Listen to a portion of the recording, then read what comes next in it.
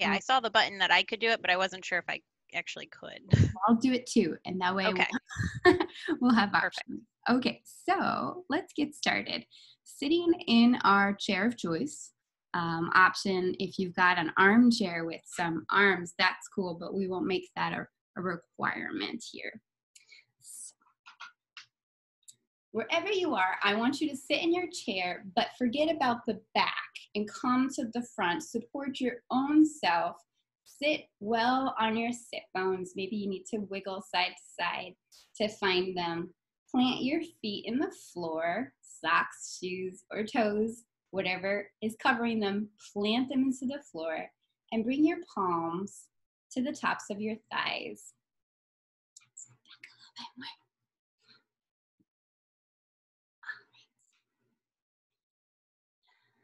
Now, we're going to start with our eyes closed, taking a moment to observe our breathing and to tune the outside world out. This may take several minutes, so if you have the opportunity to take a more extended version of this at home, please go ahead, pause the video, and tune into your breathing for as long as you want or as you can afford. So go ahead and close your eyes, allow the gaze to soften. Keeping your hands on the tops of your thighs, let those feel grounded. And breathe in. Exhale. Take another deep breath in. And exhale. This time on your next deep breath in, on the exhalation, see if you can relax the shoulders, relax the jaw, the space between your eyebrows. Your hair, if that's possible. Breathe in. Exhale. We're going to take a guided breathing exercise here as an offering to place both hands on your lower belly. And we're going to try and breathe in for three counts and exhale for three counts. And the goal is not to force the breath into this pattern, but to try and guide it into this regular pattern of inhaling and exhaling for the same amount of time. You're welcome to keep your eyes closed or open, whatever makes you comfortable. And with your hands on your belly, fill your belly with air for three counts. One, two, three. Exhale for three. One, two, three. Now, keeping this rhythm in your head, take a couple breaths like this. Noticing if you have a tendency to accelerate one or the other. Often we tend to suck all the air in in an inhale, and then we slowly exhale it out. But see if you can allow the air to come in smoothly and let go of it just as smoothly.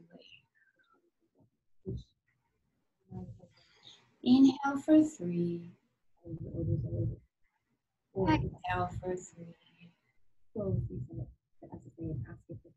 One more deep breath in. This time, let it be natural and free. Bring your hands back to the tops of your thighs and exhale deeply. Slowly bring your eyes back into the space, allowing your vision to return. And we're going to start with a wrist stretch. And I give this as an offering for anyone that does a lot of computer work or phone work. This is a good counter stretch to all of that action. So bringing the palm of your hand facing forward, fingertips facing the floor, gently keeping the elbow bent. Give me a little wrist stretch here. Press mm-hmm. your fingers back any amount. As soon as you feel it, that's good. That's a good place to stop right there. Keeping the elbow bent to protect the joint and avoid overextending the elbow. Breathe in here. Exhale. Oh, doesn't that feel nice? Let's let that go. Give a couple wrist circles with a fist, making a counter motion. And let's try the other side and see how it feels. Palm faces forward, fingertips down, gently press, keeping the elbow bent, breathing here. Now you may feel this on your wrist, maybe your forearm, sometimes even your fingers. And you might also notice whether one side feels tighter than the other. And ask yourself, does that happen to be your dominant hand? Exhale, release the fingers, make a small fist, take a couple circles to undo that. Excellent. Now bringing both of our hands, clasping our fingers together, bringing them behind our head, just as if we were at the beach. I know it's a cold, wintry morning already, but let's pretend we were somewhere nice and sunny and warm at the beach. Bring your head into this cradle that you're making with your fingers and make sure your elbows are spread wide to your sides. Avoid this situation. Give your head some space. Now sit up nice and tall here. We're gonna take a motion that is very small, but I hope you'll feel. Bring your head to one side, looking towards your elbow. And just stop here and see if anything has changed in your shoulders, if there's a shoulder that wants to sneak up, because this is an odd twist of the neck. And from here, raise your elbow a couple inches, coming into this leaning motion. And look up towards the ceiling. See if you feel the side of your body stretching. Inhale here. Exhale, come back to center and bring your head to center. Now change the clasp of your hands. I know it's a little funny. There's usually one comfortable way and then one a little awkward. So change that. Bring it back behind your head. Sit back like you're at the beach. Turn your head to the side. Look at your elbow. Notice if your shoulders crept up, let them go back down. And now with your elbow, as if you were tracing a line on the wall up to the ceiling, tilt a couple inches and look at the ceiling. Feel the space between your ribs that you're generating here with this very gentle stretch as we wake our body up.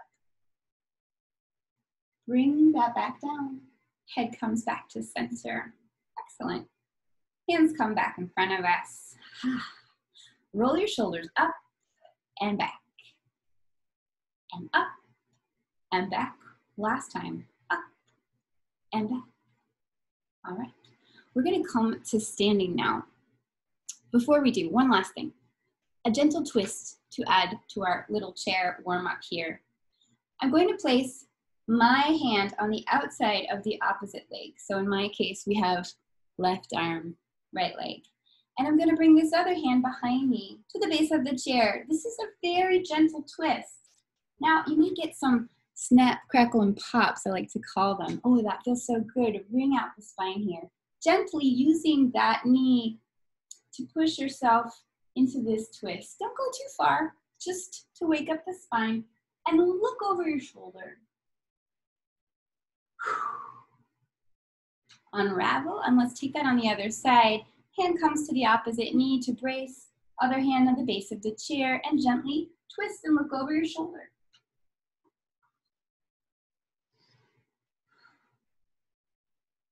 Come back to center and now we're ready to stand up. Plant the feet into the ground, push them away from the floor, and here we are coming to standing.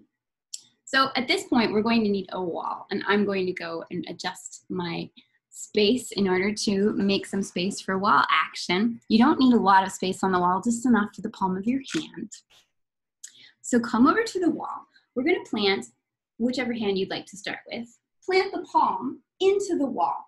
Now, we're going to measure the height to make sure that we feel this in the right space. You want the hand to be shoulder height. If you do it too low, you won't feel that much. And if you do it too high, you'll feel something different.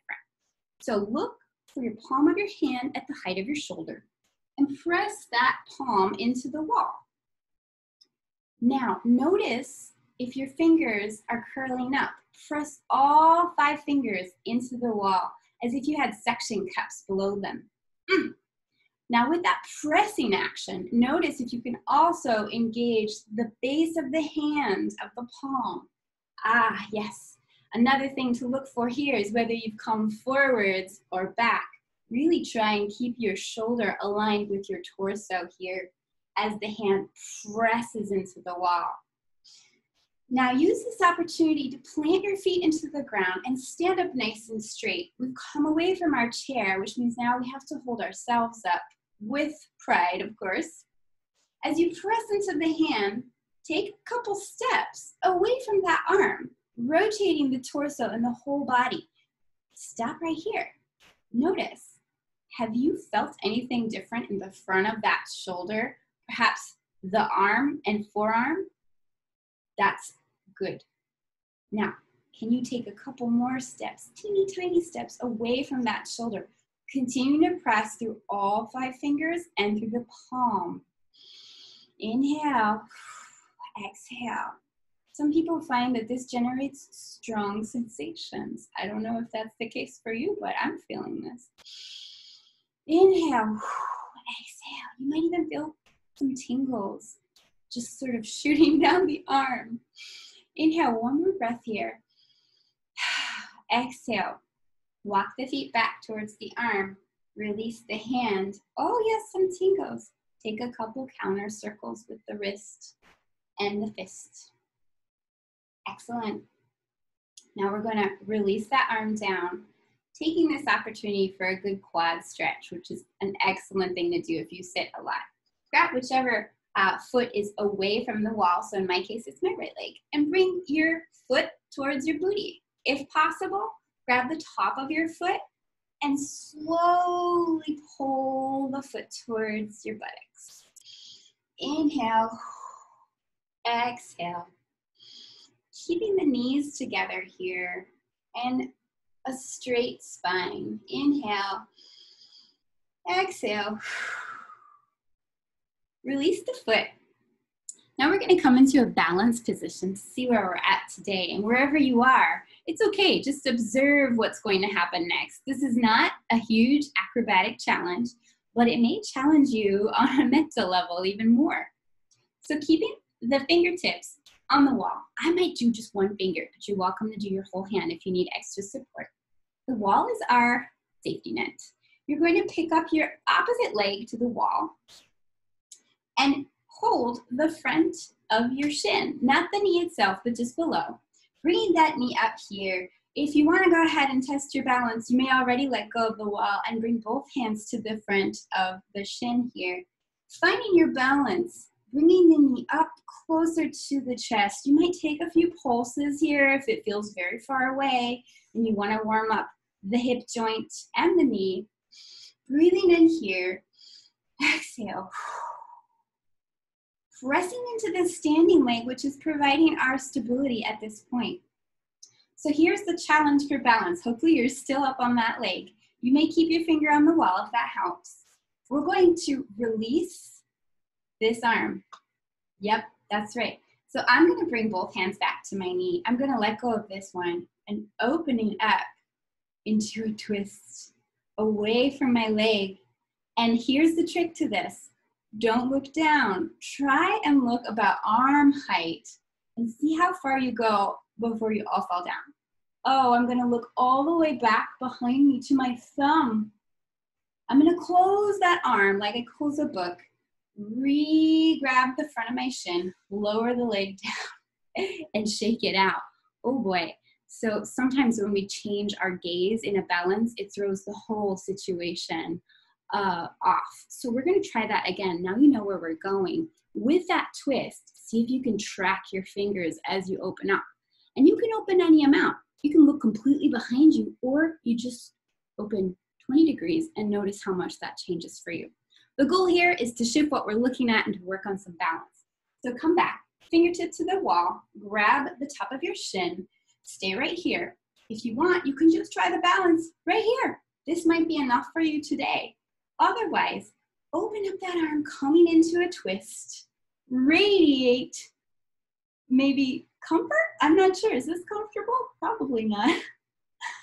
but just remember, it's just for fun. So there's no pressure here. If you fall over, close the book, Bring one last knee up. Oh, a little squeeze here. Release that. And I'll pedal the feet out right and left. Maybe move your hips side to side if you start to feel a lot of action in the standing leg. We're gonna take all of that arm and leg action on the other side now. Bringing your other hand, planting the palm in the wall, spreading the fingers wide, push into the wall, making sure the hand is shoulder height. And whenever you're set up, take a few steps, maybe just three inches away from your arm, feeling the opening in the top front of the shoulder. Maybe you can feel this in the armpit. I can feel it in my arm and forearm and definitely the base of my wrist. I'm gonna keep pressing into the wall as I stand up nice and straight. Maybe take a couple more steps, rotating the torso, opening up, and checking in with the breathing, making sure still there. One more deep breath here. Excellent. Stepping the feet back, releasing the hand. Give me a couple counter circles here with the fist. Ah, yes, that feels very nice on my wrist joint. Hopefully it does for you too. Now bringing the finger to the wall, pick up your foot, give me a quad stretch, pulling the heel towards the butt. Standing up nice and straight, squeeze the thighs together here.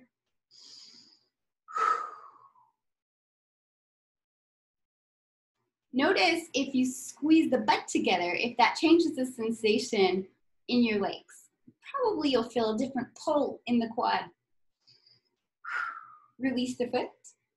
Now bring the knee up to 90 degrees, grab the top of the shin, find your balance here, pressing the floor away, standing up straight.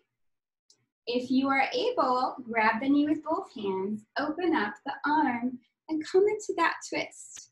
Now, hey, for this first round, I'm gonna stay right here. I'm gonna choose to look straight at you and see if I can balance like this. Keeping that leg up is going to help you, otherwise it might pull you down, but wow. Notice that you have to engage the abdominals to keep this shape. Focus on your hand and fingertips as they reach away from your torso and maybe, maybe open a little bit more, keeping the gaze looking along your fingertips. Close the arm like you close a book. Release the leg. Ah, march it out. We're gonna try that one more time. This time, you know where we're going. Maybe try and open up the twist a little bit more. Maybe not. Maybe you're just well, working on balancing on one leg and that's fine. Bring the knee up. Both hands to the top of the shin. Open up. Try something new. Breathe here. Exhale, close the arm. Lower the leg down. Little walk side to side.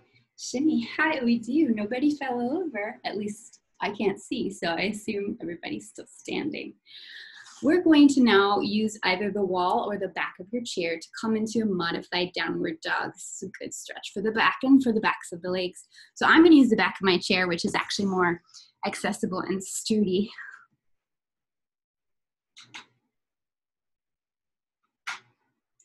Bringing your hands here, walking the feet back, reaching the sit bones behind you, in my case, straight into my TV. Hello.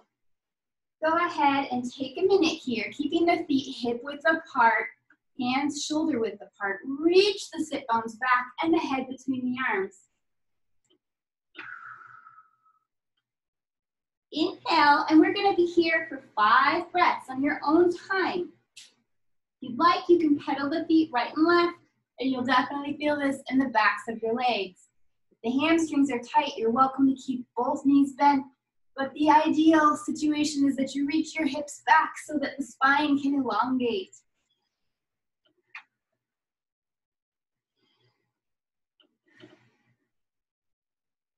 Now it might feel good to drop the head below, but you really want to keep the ears in line with the upper arms so that we keep a long straight spine here.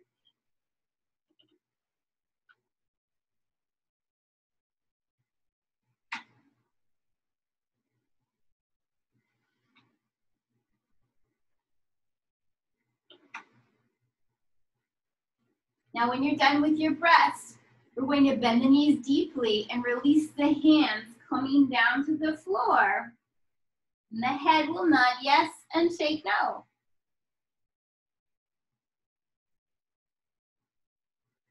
If the floor is very far away for you, go ahead and bend the knees deeper and you'll see that it comes up to you somehow.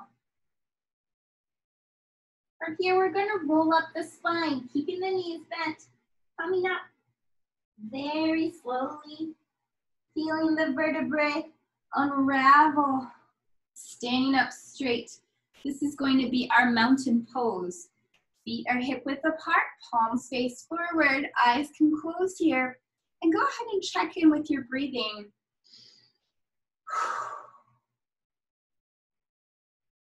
Excellent. We're now going to use our chair and step on it. So make sure that if you have shoes, you may need to take them off depending on your shoes and your chair. Uh, otherwise, I'm gonna rotate. And now I'm going to go ahead and pick up my foot, placing the foot on the chair. And either if you've got arms on your chair, you can use those. Otherwise, reach the fingertips towards the base of the chair and scoot your foot back this is going to be our lunge opportunity here. Now you can rock forwards and back a little, warming up the hip, allowing this hip to stretch as much as you feel the crease in this one. And really pressing the foot into the chair, making sure that you are stable and safe as you do this. And you may need to scoot around until you find the right alignment. At some point, come into stillness as you stay in this lunge. Press the torso up by pressing on the top of the thigh and feel the opening of this hip flexor right here. We're gonna breathe here for five breaths. Reaching the torso up, elongating the spine. This, my friends, is a good stretch for people who sit in chairs. As you'll notice with this leg, I have a 90 degree flexion here going on between my hip and my torso, which means my hip flexor stays in that position all day. This will help counter all of that, opening this up, and it might feel very tight for you. And this is a good place to just breathe and relax. Excellent. Now you scoot this leg in a couple inches here, either using arms of your armchair or fingers to the top of your seat. Straighten the other leg and now, of course, I say straighten. We're not all super bendy, so any amount is good. If you want to stop or you start to feel the pull here, that's a good place to be. Now the torso is reaching forwards and I'm trying to keep a straight back. The abs are in. This is quite an active stretch. Don't let it fool you. There's no rounding of the spine. I'm stretching my back as I'm stretching the back of my legs. Now, for those of us that are super bendy and want more, if you want more sensation, straighten that leg, curl the toes up, flex the leg. Now you're going to activate your calf as well as your hamstring. Hello. Breathing in here. Exhale. Repoint the foot if you had flexed it. Bend the leg. Come back up and go ahead and take that foot off the chair. Ah, give me a little pedal side to side. Okay, we're gonna take that on the other side. Other foot comes up, plant the base of the foot into the chair, push yourself up on the top of your thigh. Reach both heels into whatever surface they're on and breathe. Feel the opening across the other hip. Notice if there's any difference in tightness or looseness between each hip. You can take a couple rocks forwards and back. Adjust your back foot as needed until you find that balance here.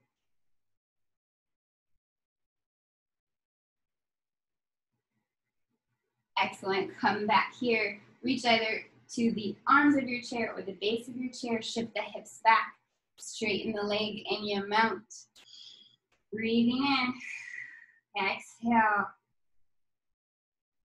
Some of us feel a little shakes when we start to pull on a muscle. And that's a, that's a sign that your body is telling you to back off because this is an unusual sensation. When you reach that point though, I encourage you to just pause and notice that your body might go into an alarm state. wherever you are, you just need to breathe and calm it down. Allow your muscle to soften and accept the new sensation. Flex the foot if you want more. Ah.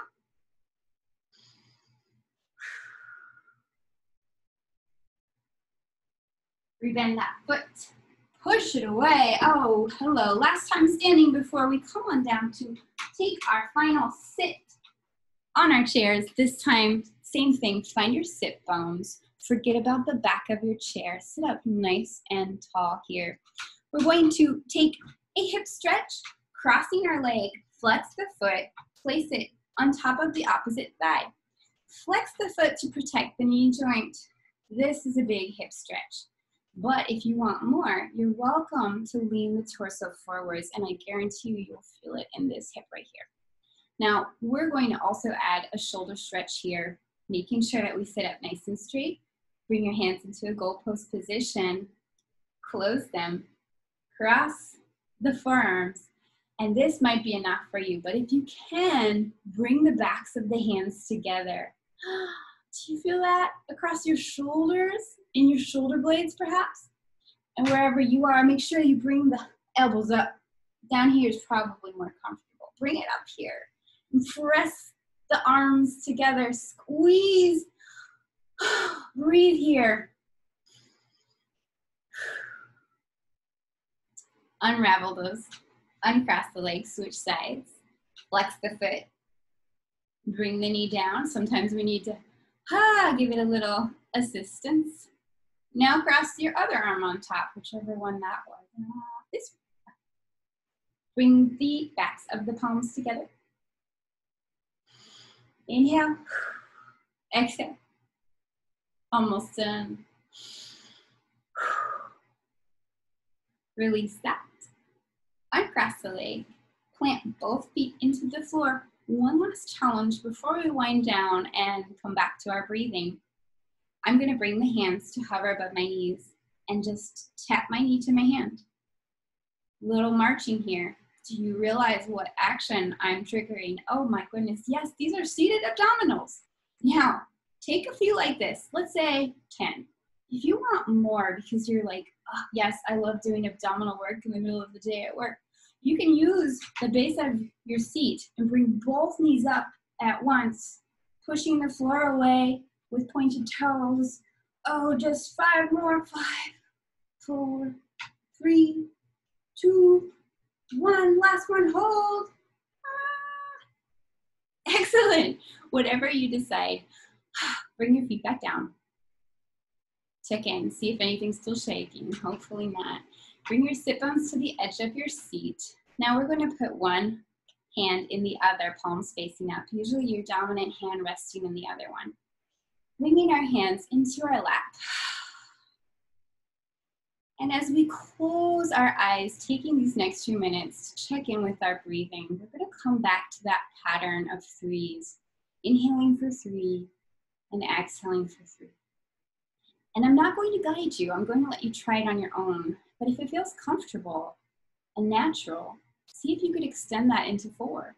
Inhaling for four and exhaling for four essentially slowing the breath down even further, relaxing into this pattern, which is really there just to try and even out the inhale and exhale. To try it on your own, counting in your head, and we'll meet in five breaths.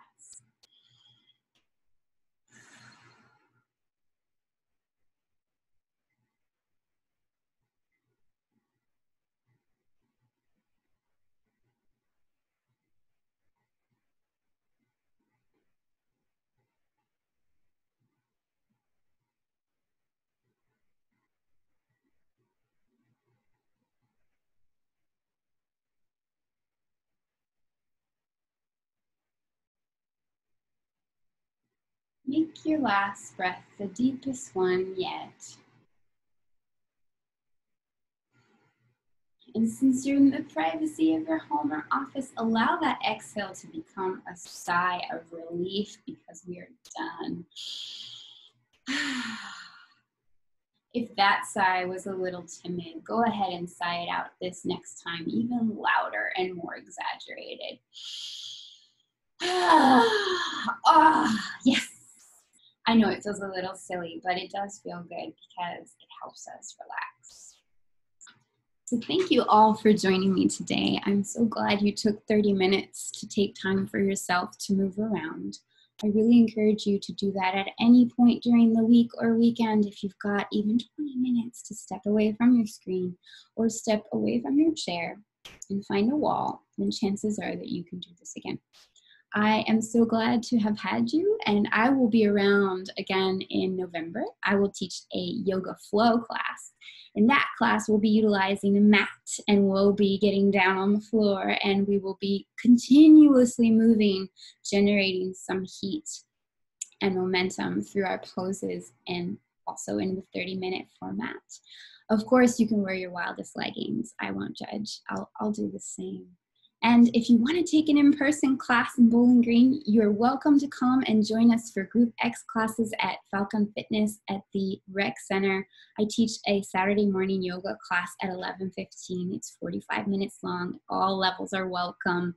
The only prop you need is a mat or blanket or towel.